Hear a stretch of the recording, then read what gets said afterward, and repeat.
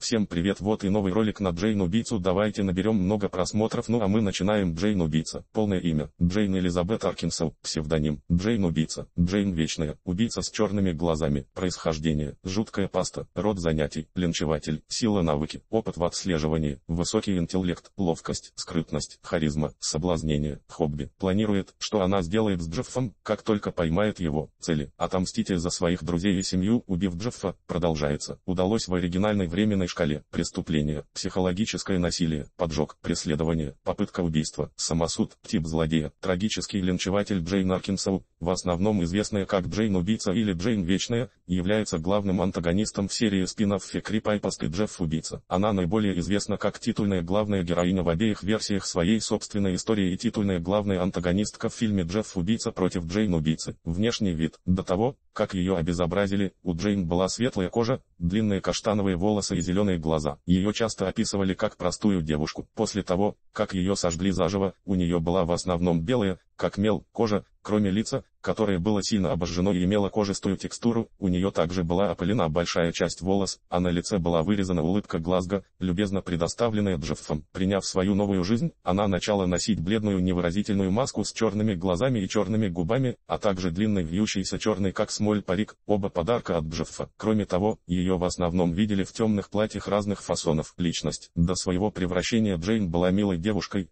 которая ценила других выше себя, она презирала Рэнди и его марионеток, как она их называла, потому что они были трусами, которые издевались и нападали на тех, кто был слабее их. Она любила свою семью и друзей, даже несмотря на то, что они постоянно раздражали ее. Она была в ужасе от Джеффа после его превращения, но когда он, по сути, разрушил ее жизнь, она замкнулась в себе и, возможно, страдала посттравматическим стрессовым расстройством, а также видела все в сером цвете, что, по ее мнению, является платой за потерю невинности. У нее большая вендетта против Джеффа, и она хочет убить его для себя. Она говорит, что его крик подобен музыке, которую можно услышать, и она заставит его кричать, как он кричал, когда его подожгли в тот день на вечеринке по случаю дня рождения, утверждая, что его убийство будет единственной вещью в мире, которая доставит ей радость, кричать, как он кричал, когда его подожгли в тот день на вечеринке по случаю дня рождения, утверждая, что его убийство будет единственной вещью в мире, которая доставит ей радость. Биография. Джейн была подростком, когда Джефф появился в ее районе, переехав в дом через дорогу, она мало думала о Джеффе, но верила, что он и его брат Лью оба были хорошими людьми. Однажды, когда Джейн опаздывала в школу, она выглянула в окно и увидела Джеффа и Лью, сидящих на автобусной остановке, перед которыми стояли головорезы из их школы Ранди, трое кит, которые угрожали детям ножами, чтобы отдать им ваши деньги, из-за пошлины, которую они заплатят, всегда требуйте. К удивлению Джейн, Джефф не принял милостиво позицию Ранди и сразился с тремя головорезами, выведя их из строя, но оставшись невредимым. Когда Джейн пошла в школу, у нее был Джефф на последнем уроке, там она заметила, что Джефф ведет себя немного садистски с извращенной радостью на лице, Джейн приняла это к сведению и решила держаться подальше от Джеффа. Утром Джейн увидела, как полиция отправилась к дому Джеффа, зная, что они поймали его. Однако она была удивлена, увидев, что Лю забрала полиция, и еще больше удивилась, увидев, как Джефф выходит из дома, умоляя Лю рассказать полиции, что это он напал на троих головорезов. Джейн видела, как Джефф беспомощно сидел на тротуаре и плакал после того, как полиция забрала его брата за ложное убеждение. Шли дни, вокруг школы Лью распространились ложные слухи о том, что он напал на Ранди и его друзей. Хотя она была рада видеть, что троице придется отсутствовать в школе из-за его травм, она все еще чувствовала себя плохо из-за Джеффа, который был заметно подавлен тем фактом, что его брат должен был обвинять в чем-то, что он сделал. Джейн решила оставить Джеффу анонимную записку на его школьном столе, чтобы сообщить ему, что у нее есть кто-то, кто будет свидетельствовать на суде над Лю в качестве свидетеля этого события, он напал на Ранди и его друзей. В субботу той недели Джейн была дома одна и делала домашнее задание, ее соседи праздновали день рождения, поэтому, когда шум стал звучать громче, она решила встать и закрыть окно, но при этом заметила Джеффа на заднем дворе, играющего с детьми, и удивительно счастливую Джейн смеялась, увидев его. Однако его настроение испортилось ненадолго, когда он увидел,